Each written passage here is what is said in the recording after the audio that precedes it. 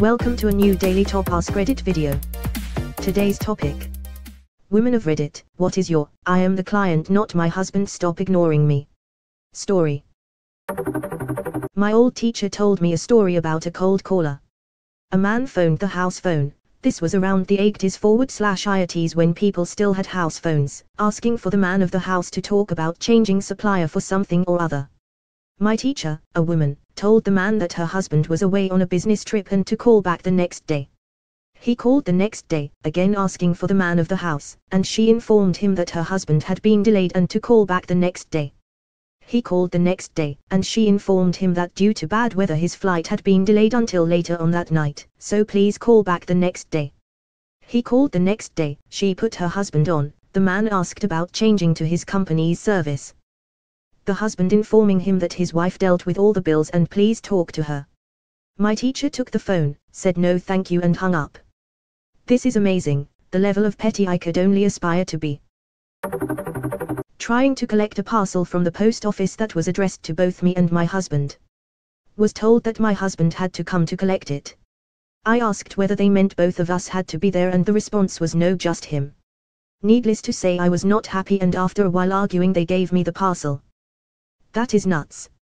I've never thought about this before because I'm male, but I pick up the mail for my parents all the time.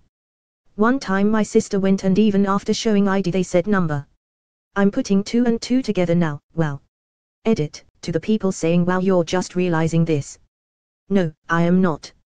I've been aware of a lot of things before, and I like to think I'm informed but it never occurred to me that in this particular situation that something wrong happened to the other people who are sharing their own stories and providing me more information and examples, thank you, this is exactly what I was looking for. It's incredible how similar a lot of the stories are. Thank you. So much male privilege summed up ha ha ha ha yeah I don't have a lot to say about that. I'm not some brain dead fucking child. Some people are very quick to crucify others, and over something so small. Disappointing. It's called learning, it's called growing, don't disparage others for doing so, that's very low. The wild thing is your sister wouldn't have known it was a sexist thing and you wouldn't have either but you got approval and affirmation and she got rejected. And that's how both your days went. I'm 22. Whenever I'm home and the postman has a packet for my parents he always asks if my daddy is here and he won't give me the package. Last time my 16-year brother opened the door and the postman gave him the package no questions asked. I don't think I look young or whatever but it seriously drives me crazy I can't stand the guy. Ah this sucks. Genuinely one of the most surprising, to me, I'm sure my partner wasn't surprised, things that I've experienced was when a parcel was delivered to our local post office and the guy behind the counter couldn't find it so he told my partner it wasn't delivered. No matter how much she argued, offered to show him her delivery notification email, or demanded he check again he condescendingly said it's not here darling, come back another day. I went immediately afterwards, he said it's not here and I said go check. That's it, that's all I said. I had no great argument and no new evidence but I was a man telling him what to do so he did it. He came back with our parcel and acted like there was nothing wrong, like my partner hadn't just come back nearly in tears over a confrontation with a dickhead too sexist to even consider listening to a woman once he'd decided he knew better. Fucking hell that sucks. Selfishly, it's always a little vindicating when it happens in front of a man, I feel like saying see. I'm not crazy. This happens. I think it's because my dad and brother would always make it seem like it hadn't really happened that way, or we were exaggerating, or we did something to provoke the sexist reaction. Luckily my husband gets it. He always deals with mechanics for this reason. This is even more infuriating than most of the stories here. Something that isn't even gendered in our culture, a parcel, with both your names on it, and they had to go and dial the misogyny up to 11. This August I bought a new truck and took my boyfriend with. He is white and I am Mexican. We arrived at the dealership and I asked about the Explorer they had front and center. Salesman comes over and is asking a bunch of questions to my BF. He told him it's for me. I was ignored for the entire conversation. I got up and started looking at the truck. A Hispanic salesman comes and asks me if I need help. I was out of there within 1.5 hours keys in hand. Found my BF with the other salesman. I looked at BF and said I bought the one I wanted Manny G got me squared away. The look of utter disappointment and anger on the guy's face was worth it. My BF chuckled and told said I told you she was the one buying. Manny you were great. Oh man the schadenfreude of this one is so good. Manny knew what was up and saw an easy sale, just listen to the customer. Makes you wonder how many sales Manny gets off that guy. Oh man that is brilliant. Guy lost a sale and wasted his time with a guy who wasn't even buying, when he could have helped another customer. And not even lost a sale to other place, just to a co-worker that was simply better than him. I was trying to buy a TV about 10 years ago at Fry's Electronics. BF came along to help carry big box. Every time I asked a question the employee would answer by turning to my BF and talking to him. Even when he said stuff like it gets her TV he still faced and made eye contact only with my BF. I was getting pretty irritated, the last straw was when I was handing him my credit card and he turns to my BF to ask if he wants the 2YR warranty. Finally I snapped at him it's not his TV I am buying this TV stop trying to sell IT to him. I was pissed and it was the most irritating and sexist customer service I've ever experienced. Edit, NOM NOM NOM karma. Let me tell you about that place. I used to work there. They told me the dress code was to wear flattering women's office attire. Why? No one else was. If I wore skirts they suddenly had me stocking CDRWs on the top shelf with the ladder. One sexist comment after another. Preference of males over females when writing up the schedule. So I quit. Every single day I felt like I was a walking joke over there. After only two months.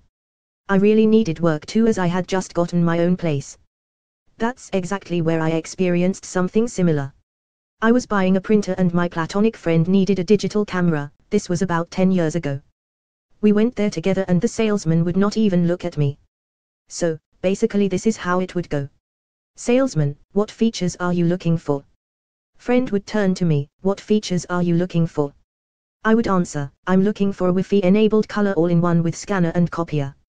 Friend would turn to salesman, she is looking at a Wi-Fi enabled all-in-one with a scanner and copier. And repeat this with every question that was asked. We walked off after a while because of just how ridiculous it is. After we went over and he looked at cameras, we returned to the printers, thinking we could avoid him. Fortunately, I saw another salesman who just happened to be the little brother of an old friend of mine from HS, so I made sure he got the commission. Wow you'd think the salesman would take a hint. When I had my appendix taken out, I asked my doctor when sex would be okay again. He turned to my husband and said whenever you feel ready, you can begin sexual relations again. I don't know if he was uncomfortable talking to me about it, or was deferring to what my husband would prefer. Either way, it was strange. I've had a gynecologist speak only to my husband. I wanted to scream he doesn't have a vagina but I was too shocked. I don't go into the office with my so. I sit in the waiting room with her, when she gets called in, I ask her if she'd like some company, and she always says number. I always ask because she might want privacy, or she might want me there for better understanding or something, but I'm effectively just the driver for her appointments. If she wants me in the room, fine, I'm in. If she wants privacy, fine, I'm just outside. I've had a doctor edit general practitioner, not gynecologist ask me a question on her behalf one time and she was perfectly able to answer at the time to I shrugged and said I dunno, ask her, it's her stomach. She's a lot of things to me, but she's not my car, lol. Don't ask me for her symptoms. Most of these posts are making me shake my head. This one just made me go EWWW. That's just wrong. When my wife had her appendix out he told me that sex could happen when her body felt good and ready and if I pressured her it could do damage. Wasn't planning on it but both of us were so happy to have a male doctor reinforcing that it was her body to control. I think it helped that he really liked her, she asked all kinds of good questions and even asked if they could take some pictures for her since she couldn't keep the appendix. She had them for years, I'm sure they're still in a box somewhere. My wife is weird and I love it. Happened to my mom when we went to look at colleges. The admissions guy opened by shaking my dad's hand, constantly directed questions at my dad, and would look to him for confirmation whenever my mom said something. My mom is de facto the money person of our family unit. She manages the family finances and investments and stuff, and was way way way more qualified to comment on things like student loans or expected contribution. When we left that meeting she was absolutely furious that she had to basically fight the admissions person to have a normal conversation. I am the money person in our relationship and this happens to me all the time. Every car we've bought, place we've rented, investment we've made, you name it. My husband is now very confident in telling the people that if they keep trying to talk to him about it the only decision he will be able to make is telling them to get lost. Edit, my first gold. Thank you. Lol my mom made my dad return a car when she found out what he paid for it then got the same car for far less thousands less. She's the real life Peggy Hill. ETA, Season 12 Episode 13 Y'all. Educate your damn selves before you come for Ms. Peggy, Escucham. My mom is single when she went and did all the paperwork with my sis, she was 17 for a few more months, they asked automatically when her husband would be there I'm glad I wasn't in that office when that happened. Lol, when my mom was single, before she got married and had kids, she was at a job interview. She had an Eastern European maiden name but the interviewer thought it was Japanese, which is sort of understandable because of how it's spelled, and asked her if her Japanese husband would be okay with her working full time if they offered her the job. I guess they assumed she was married to some kind of old school traditional Japanese man who might not want her out of the house 40 hours a week. She was so surprised by the question she just said yeah, he'll be fine and laughed as she decided that maybe she didn't want to work for this guy after all.